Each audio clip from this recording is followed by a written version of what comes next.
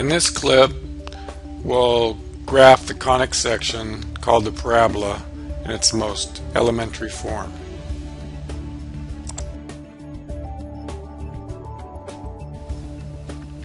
So in order to graph the parabola, the first thing we'll do is go to the File menu and then select New and then move our cursor to Worksheet mode.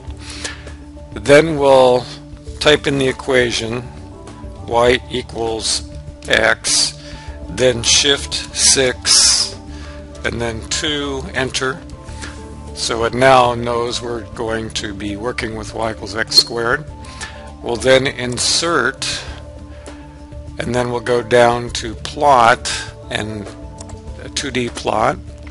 Now in order to plot the curve we'll first select it by going to the left, moving our cursor to the left of Y, clicking on our left mouse key. So it's now been selected. I could copy it and paste it onto the graph or I can push down on the left mouse key and then drag the mouse into the graph and there it graphs it. So there we see the graph has given us a domain from minus 10 to 10 and a range looks like from about 0 to 100. We can be more specific on the domain and range if we want. If I click on this icon, the horizontal axis, if I click on use data extents, I can change the horizontal axis from say a minus 5, then tab, and then 5 and then hit apply or OK and so now we see the domain is going from a minus 5 to 5 and I can similarly change the range. Currently it's been adjusted from 0 to 25 so if I go to the icon and click on vertical unclick use data extents and then go from say minus 1 on our range now tab to say 5 and then hit OK.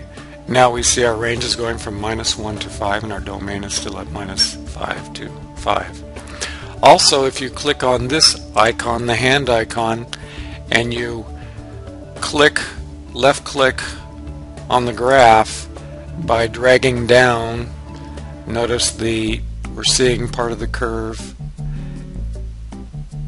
We're seeing now the curve below the x-axis we're at minus 3 and we can move it to the left or move it to the right so we can see areas of our curve within this window by dragging because I'm keeping my finger on the left mouse key.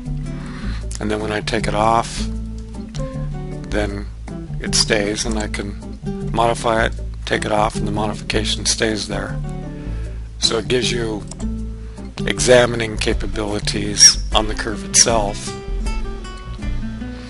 Another useful capability we have if we go to this icon click on it and then select the plot menu and then select under that option the probe info and we'll say nearest datum we then can see the coordinates on the line as we move our cursor at various points on the curve. So as I move my cursor there, we see we have 1.0398 as an x coordinate, 1.08, 1, and so on as a y coordinate. And so it just gives you an idea what the coordinates, the actual value of the coordinates on the curve are at, any particular point in time where you have your cursor located.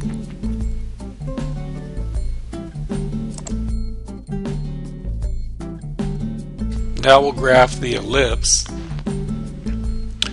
which is another conic section. And the equation we'll use is x squared over 4 plus y squared over 9 equals 1. The center of this ellipse will be at the origin. But in order to graph it, since it's not a function, we'll actually find the equation for the upper half and the lower half. And here we see the equation plus or minus 3 halves times the square root of 4 minus x squared. So solving for y, we see the upper half is, is a positive 3 halves times the square root of 4 minus x squared.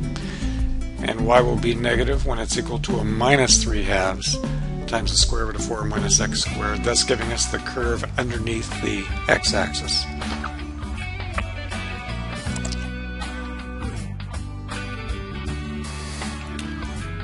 We'll begin in worksheet mode, and the first thing we'll do is type in the equation of the ellipse.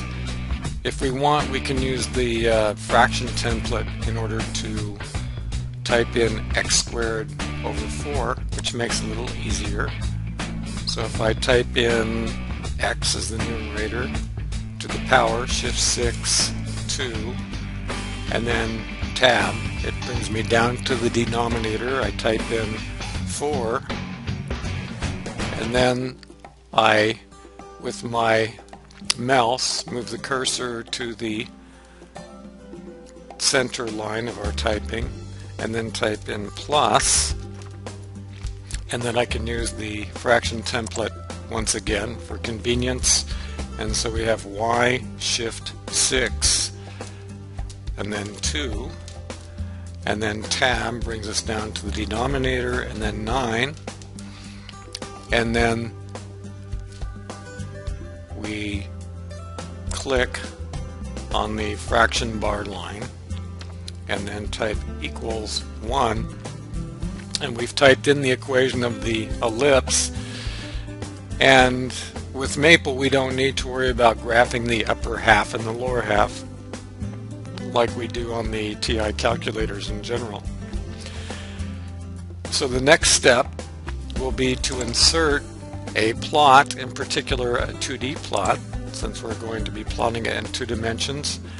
And what I'll do is select the equation by pressing down the left mouse key and then dragging it across the equation, clicking the right mouse key and selecting copy, or you could use the control C command to copy it once it's been selected.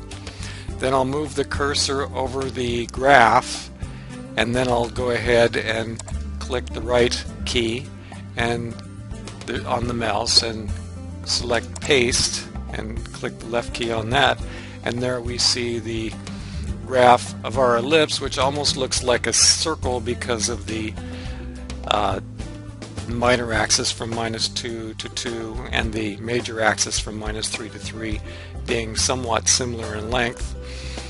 We can zoom in and zoom out by clicking on the this icon that scales the plot axes.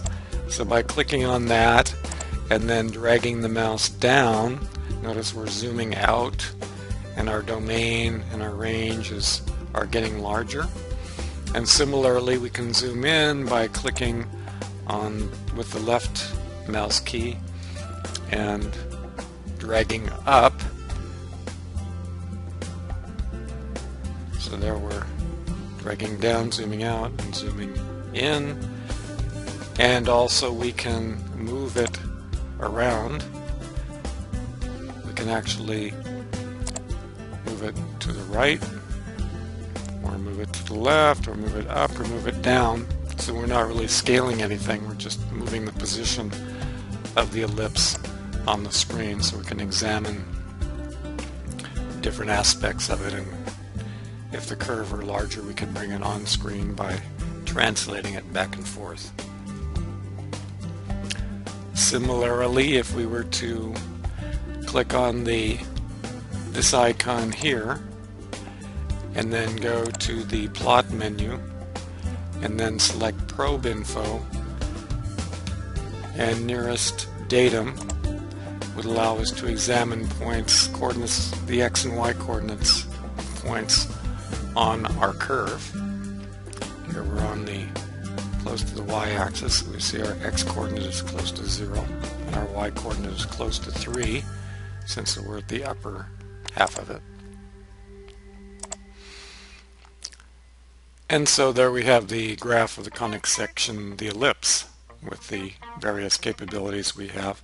Also, if we want, we can change the grid line properties. Notice we have these grids. So by clicking on that, you can change the, the grid lines. And we can specify the number of grid lines. Suppose I change that to 10, hit OK. Then notice it's scaling it. For the grid lines we have 0.5, 1, 1.5, and 2 now. Whereas on the y-axis, since we didn't change that, we still have the 1, 2, and 3. So it hasn't specified the coordinates between, say, 1 and 2, as we have on the x-axis. And also by clicking on this icon, we can overlay it with the grid lines for examining the curve more closely.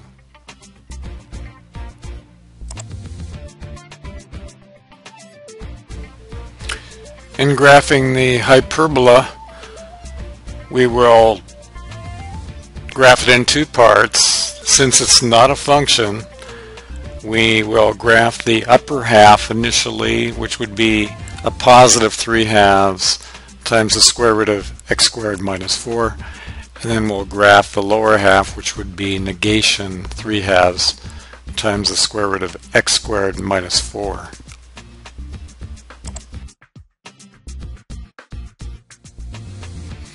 Now we're ready to type in the equation of the hyperbola and again when starting a document just click on the file menu then new and then worksheet mode. And so we'll first type in the document. We'll go ahead and use the templates that we have by clicking on the expression box. Then your templates show up.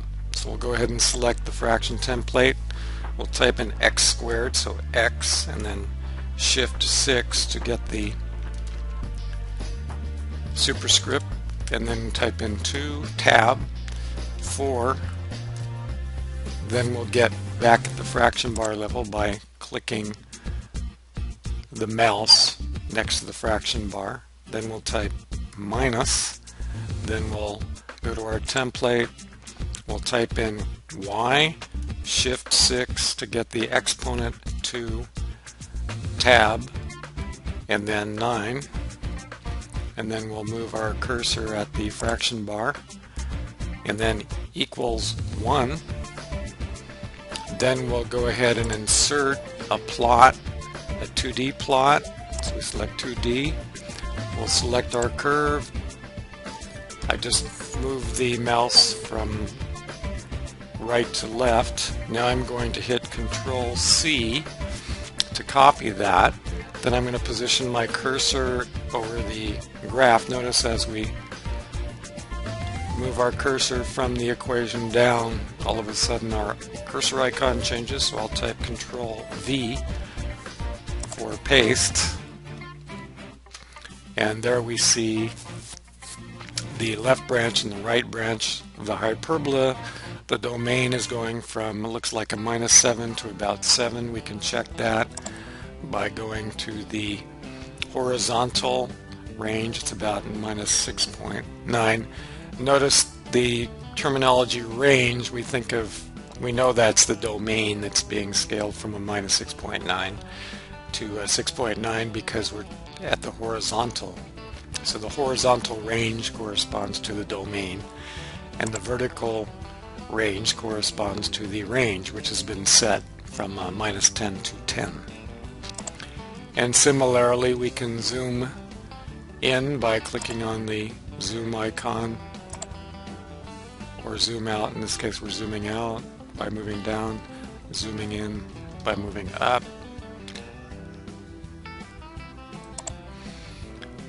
And we can also translate by typing on the hand icon and move it to the right, move it to the left, move it down, move it up, depending on what area of the curve it is that you're interested in examining more carefully.